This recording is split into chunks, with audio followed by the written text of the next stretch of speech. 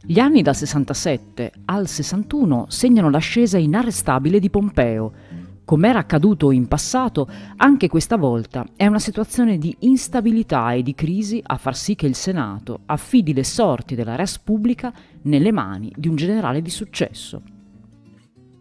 In questi anni Roma si trova infatti ad affrontare un duplice pericolo.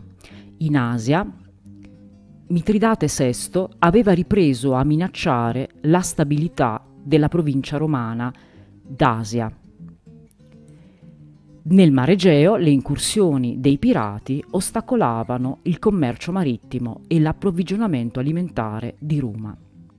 Su pressione dei cavalieri, la classe che aveva più interesse a eliminare la minaccia dei pirati e dei popolari e grazie all'appoggio di un giovane senatore, Caio Giulio Cesare, Pompeo si fece concedere dal Senato dei poteri eccezionali per risolvere la questione della sicurezza del Mediterraneo.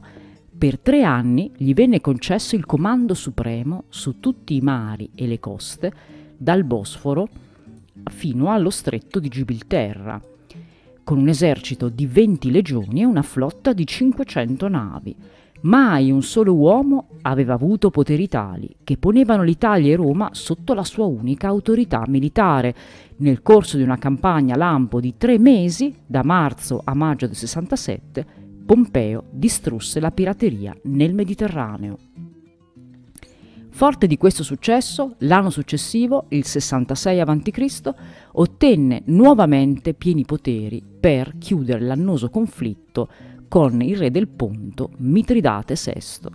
Una legge, la Lex Manilia, gli confermava il comando supremo delle forze armate per un periodo illimitato, gli dava il comando della guerra e il diritto di stringere alleanze e concludere trattati. In due anni Pompeo annientò Mitridate ampliando ulteriormente l'influenza romana in Oriente.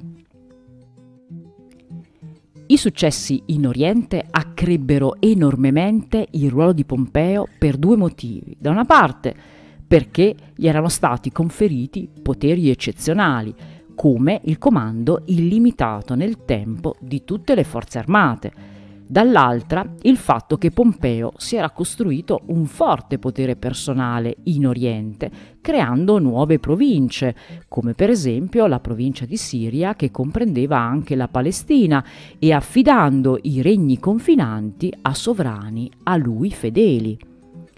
Quale sarebbe stato l'atteggiamento del potente generale al suo ritorno a Roma e soprattutto come avrebbe reagito il Senato di fronte a una personalità che nel giro di dieci anni aveva accumulato poteri così ampi, guadagnandosi un'influenza e un peso politico che potevano oscurare l'autorità dell'oligarchia senatoria?